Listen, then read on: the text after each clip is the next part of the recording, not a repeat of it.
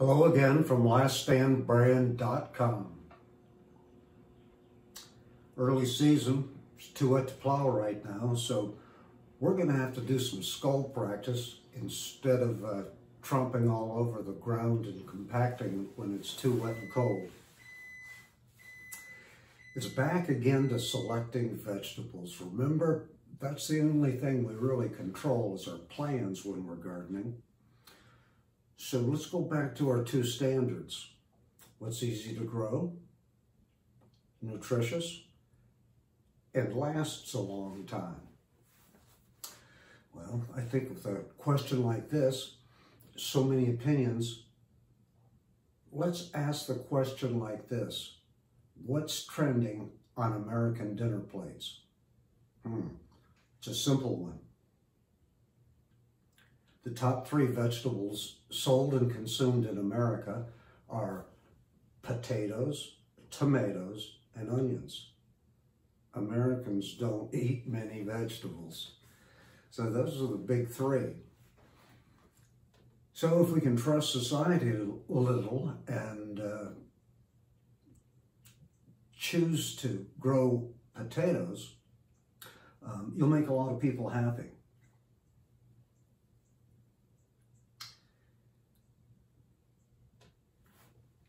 What we have here is a Dakota Pearl potato. You got to see this. I've been growing potatoes for quite a while. Usually the popular ones like uh, the Yukon Golds, the Detroits. None of them have the eyes in them like uh, this like this particular variety of potato was used by the settlers in the early Dakotas because it was so productive and it pushes through heavy soil. That's how it was selected by me, uh, or referred to me because of those characteristics, doing so well in the heavy soil. If you can see those.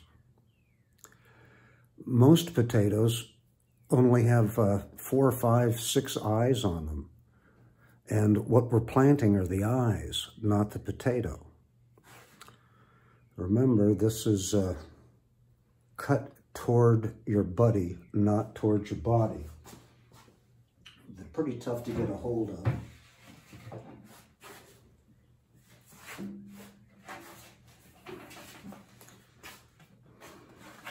So let's see if we can cut one of these potatoes in front of you.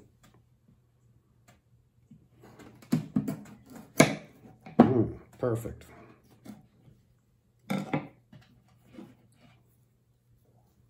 There's one, two, three, four, five, six, seven eyes on one side and one, two, three, four, five, six on the other.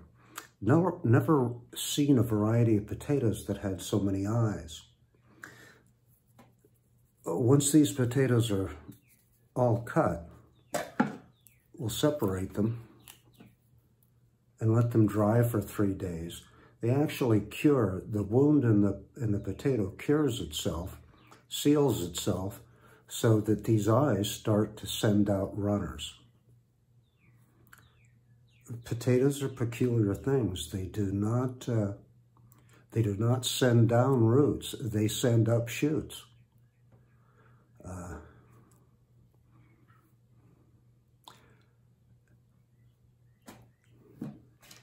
Well, that's the cutting lesson.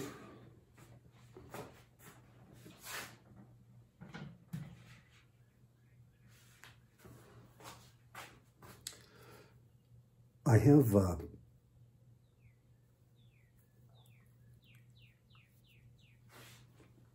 display here, which might help.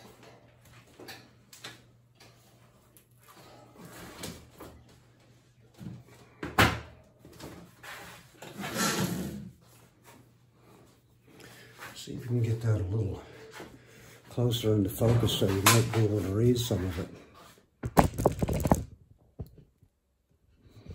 Hmm.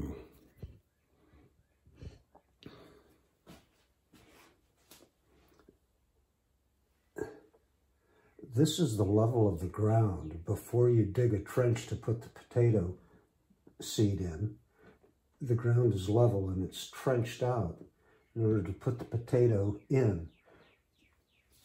You only cover it with a few inches of, of soil every three weeks, allowing the eyes to come up through the soil.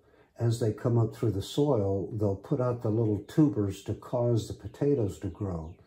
If you bury them in typical fashion, just put them up to ground level, they won't have any place for the shoot to run. So we continuously add soil to the shoots. As they get taller, more soil is added to the shoots so they have a greater opportunity to put out the side shoots and grow potatoes. Well, I think, I don't think I can get the other picture done for you. Let's see. Yeah. There's a shot of it. The seed potato is placed in a trench. After three weeks or so, the shoots should be up here. You'll add three more inches of soil. Following another three weeks, the shoot should be here and you add more soil, continually adding soil as the season as the season goes along. They'll be ready when the tops die back on their own.